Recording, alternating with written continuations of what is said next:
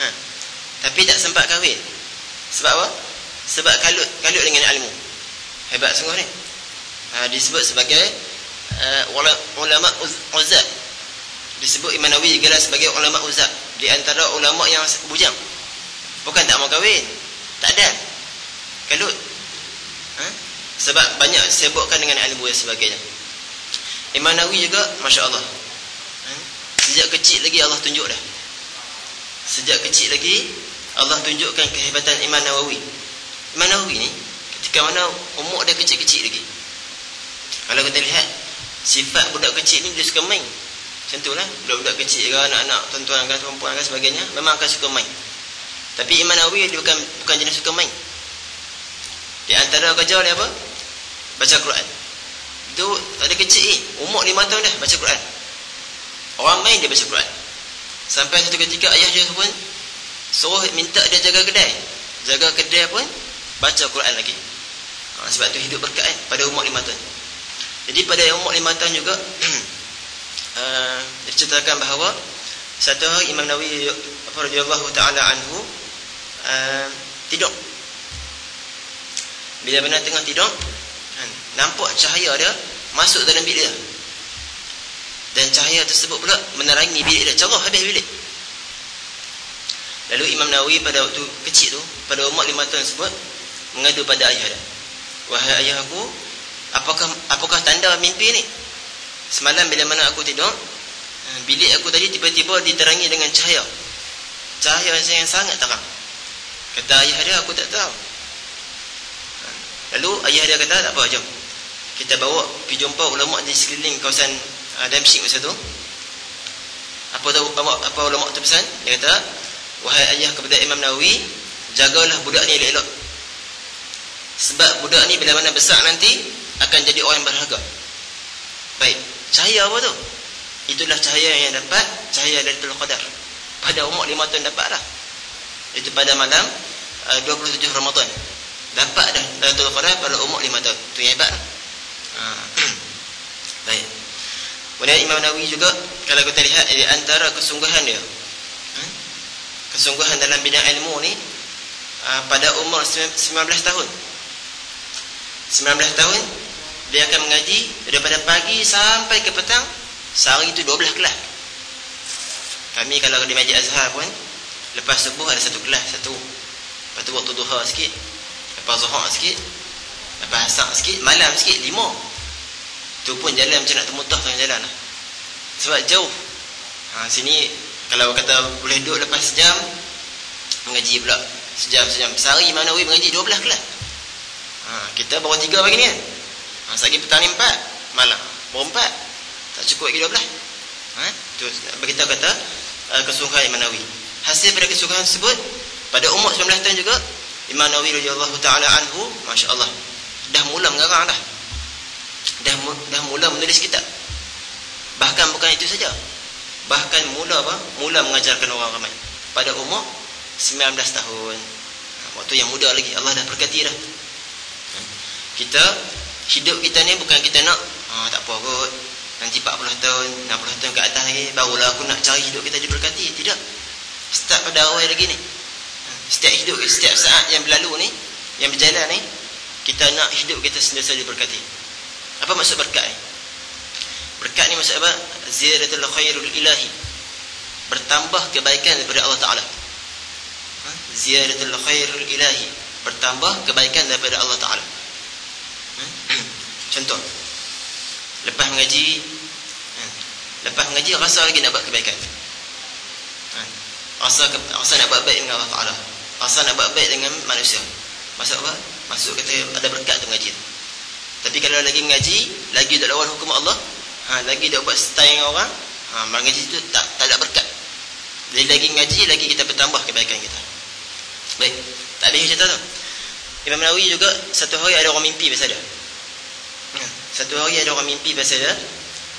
Uh, uh, mimpi mimpi seorang ulama ni mimpi berjumpa dengan baginda Nabi sallallahu alaihi wasallam. Tanya ya Rasulullah aku ni nak ambil pendapat yang mana? Nak ambil pendapat Imam Ghazali ke? Nak ambil pendapat Imam Rafi'i ke? Ataupun nak ambil pendapat Imam Nawawi? Imam Nawawi. Sedangkan masalah itu masalah yang sama. Tapi tiga ulama bagi pendapat yang berbeza. Maka maka kata bagi Nabi SAW pilihlah pendapat Nawawi. Imam Nawawi. Fa innahu muhyiddin. Ha? pilihlah pendapat Imam Nawawi sesungguhnya dia ialah orang yang muhyiddin orang yang menghidupkan agama. Sebab tu di antara ha? di antara nama Imam Nawawi nama apa? Ha? nama gelaran dia muhyiddin. Apa Al-Imam Abi Zakaria Yahya bin, bin Sharaf bin Sharaf An-Nawawi. Itu nama nama sebenarnya. Nama gelaran dia apa? Muhyiddin. Orang yang menghidupkan agama. Ni siapa yang bagi gelaran tu? Nabi SAW sendiri yang bagi. Nabi pula yang bagi. Tapi Imam Nawawi Masya Allah punya tahu tu ha? Dia, dia pesan ke orang mana dia kata kamu jangan panggil aku Muhyiddin ketika mana aku masih hidup. Masa aku hidup jangan panggil aku Muhyiddin. Panggil aku Nawawi pun tak apa Zakaria pun tak apa. Ha? sebab sebab takut dia. Ha, contoh ha, kita.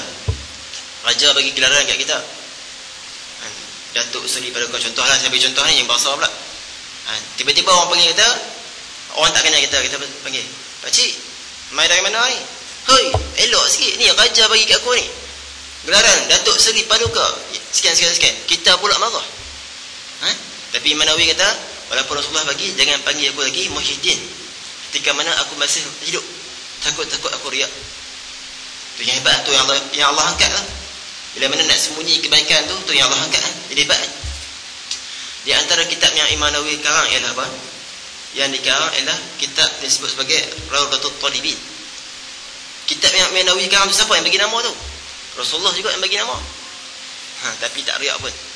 Baik. Imam Nawawi radhiyallahu taala anhu kalau kata tengah mengaji bila benar uh, satu lagi uh, ulama yang sezaman dengan dia ialah Imam Rafi'i Imam Rafi'i punya hebat juga ha? kalau kata tengah mengaji ataupun tengah kang kita waktu malam tiba-tiba lampu tak ada terpadam dan sebagainya maka pokok-pokok yang di sekeliling rumah Imam Rafi'i tersebut akan bercahaya menyuluh kepada rumah Imam Rafi'i itu Imam Rafi'i sezaman dengan Imam Nawawi Imam Nawawi pula macam mana? Kalau Imam Nawawi, Imam Nawawi pula tengah-tengah tulis lampu terpadam. Berita ke terpadam sebagainya. Buat macam mana? Ni cahaya keluar pada tangan. Ha, tapi bukan jenis tunjuk kat orang. Ha, kalau kita dapat karamat macam tu, ha, ni tengok ni. Tangan aku cahaya ni. Dah. Imam Nawawi bukan jenis tunjuk kat orang. Sembunyikan pula. Cuma diceritakan selepas tu. Ha? baik. Di antaranya lagi, ada seorang ulama ni masuk dalam perpustakaan masuk dalam perpustakaan bilik gelap juga masuk-masuk nampak cahaya angkat-angkat dah kita Imam Nawawi juga pi tanding kita kita Imam Nawawi juga waktu yang sangat muda umur yang macam ni Allah dah angkat dah sangat tinggi hebat dah baik sebab tu kalau kata di di, di Dimash ataupun di Damsyik di Syria bila mana uh, para sultan ataupun para pemerintah masa tu nak tanya hukum hakam akan tanya pada semua ulama. Tanya apa hukum sekian sekian sekian sekian sekian?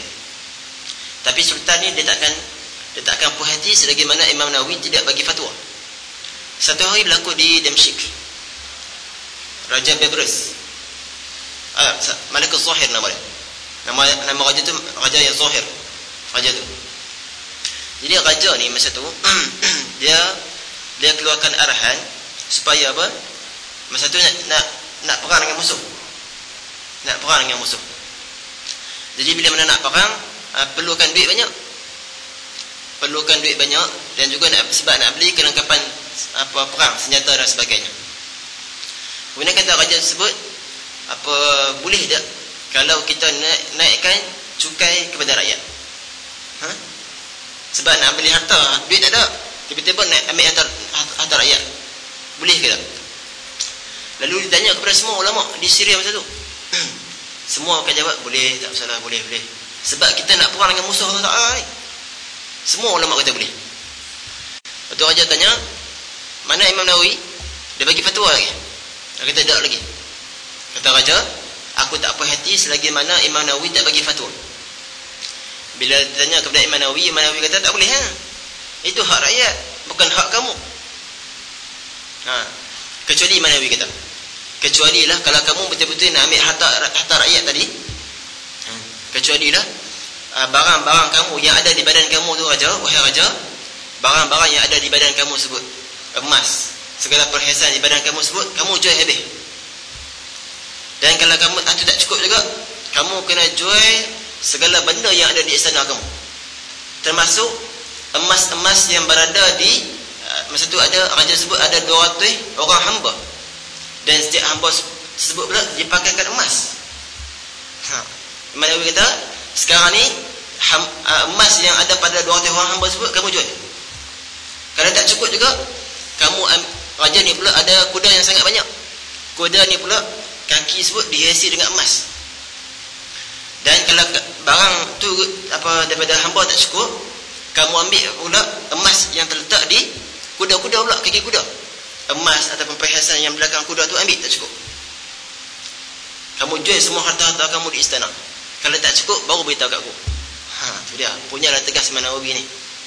Ha, sebab sebab Manawi sebut harta rakyat bukan boleh ambil ikut suka. Hak kita orang awam. Ha? Sebab kamu tu raja. Kamu hidup mewah rakyat hidup senang. Tak boleh. Manawi hebat dia tegas semua dalam bahagian fatwa. Tegas semua dalam bahagian ilmu. Baik. Ada orang komen. Imam Nawawi ketika mana berlaku perang di uh, satu tempat di Syria juga.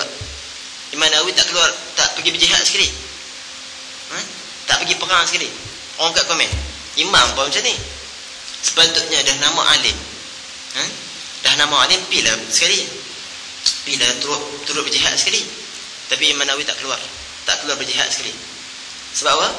sebab dia tahu sebab masa masa tu zaman dia dia seorang saja yang mampu menguasai kitab-kitab macam ni kalau dia keluar mati siapa yang nak sebarkan lagi ilmu agama ni ha? jadi Alhamdulillah sekarang ni kita dapat tumpang pula dapat tumpang kebaikan Imam Nawawi ha? kalau kita lihat di makam perkuburan Imam Nawawi ha? ada satu pokok yang sangat besar pokok tu bukan apa pokok hiasan tak? Pokok tu hidup. Pokok tu hidup dan semakin membesar membesar membesar. Tanda kata apa? Tanda kata makhluk pun juga makhluk yang tidak bernyawa juga suka kepada Imam Nawawi. Kerana jasa mereka di dunia. Ni apatah lagi manusia? Contoh. Ha, kita nak pergi mengaji mana-mana ke pergi jauh tiba-tiba orang bagi bantuan. Beasiswa sebulan 10 ribu. Bukan setahun. Kita ha? Ha, tobat lah sonok ha? baik macam tu juga alam ni bila mana orang ni dia menyebarkan ilmu Allah Ta'ala alam ni akan seronok dengan dengan ulama tersebut. Eh? Bukan setakat orang saja. Bukan alam saja seronok. Bahkan pemilik alam ni yang sangat seronok. Siapa? Allah Rabbul Jalil. Eh? Sebab kita menyebarkan ilmu agama Allah Subhanahu Wa Taala insya-Allah. Jadi uh, cukup kot setakat itu. Uh, nak sambung ni boleh tapi dah mengaji. Kita sambung petang ni pula insya-Allah. Petang ni kita akan masuk hadis yang pertama berkenaan dengan niat insya-Allah. Uh, mula jam 3 petang. Li aku dah qaul hadza wa sallallahu Assalamualaikum warahmatullahi taala wabarakatuh. Uh, untuk uh, kita akan berdoa ke homestay yang mana menginap uh, boleh jumpa dengan Cikgu Saleh depan belakang tu insya-Allah. Untuk muslimat lah. Yang lelaki pun sedikit ada orang akan bawa insya-Allah. Kemudian yang mana belum daftar uh, boleh daftarkan nama kepada saya. Uh, beserta dengan bayaran sini ya. Ha? Wallahu taala ala. Insya-Allah kita mula pada petang ni dengan Uh, pengajian kita hadis yang pertama berkenaan dengan niat insyaAllah hari ini kita nak kena uh, siapakah pengarang kitab Arba'in An-Nawawi insyaAllah Allah Ta'ala alam Assalamualaikum warahmatullahi ta'ala wabarakatuh